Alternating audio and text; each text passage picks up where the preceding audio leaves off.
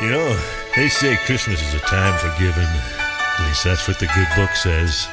And at our house every Christmas Eve, my son and daughter and their families drive down from the big city for an old fashioned family holiday. Heck, Ma dresses up the house like a Christmas card. You can hear her in the kitchen singing while she's baking cookies for the children. And she spends hours wrapping the presents she's been buying since last August. She hangs all the stockings all over the fireplace. In the morning of, I cut me down the prettiest darn Christmas tree ever saw in your life. And this year we really outdid ourselves, you know. Ma and I getting on in our years, so we decided to give the kids tax-free cash gifts of $10,000 apiece. Well, I reckon it was around noon when I heard the dogs barking. Come, Rex! There was Jim the mailman in his old Santa cap coming up the walk, teasing the dogs as usual and holding the package. Well, he handed over and he says, Pappy, it looks like you got an overnight package from your daughter. Well, Ma tore it open, and to both our horrors, we unwrapped a fruitcake with a note that read, Aloha, Mom and Dad. At the last minute, we got a cheap fare on the internet and went to Hawaii. Hold on to our gifts till after the first of the year. Love, Princess. Well, Ma's heart was broken, and I felt a lump in my throat as I thought to myself,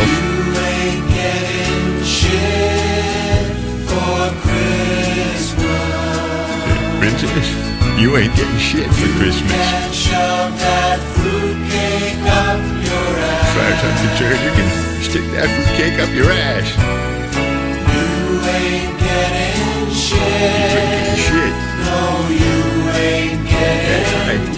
You ain't getting dick from me and Ma. Yeah, how do you like that? shit Ma hasn't had a drink in 20 years, and I've, I've been off the sauce myself for a while now, and heck, if there was ever an excuse to start drinking again, who in tarnation could that be? Junior and his family? Uh, it was some delivery fella standing there holding what looked like a fruitcake tin with a card attached. Pop, the company's condo is free this week, and you know how much Pumpkin and I love Hilton Head. Please forward our gifts to this address. Hey, Ma, save some of that for me! Well, Ma took a conniption, and things turned real ugly. She started breaking things and hurled the turkey and those two fruitcakes right through the front window, and the whole time she was yelling, You ain't getting shit for Christmas. "Eh, I tell you, you ain't getting shit for Christmas.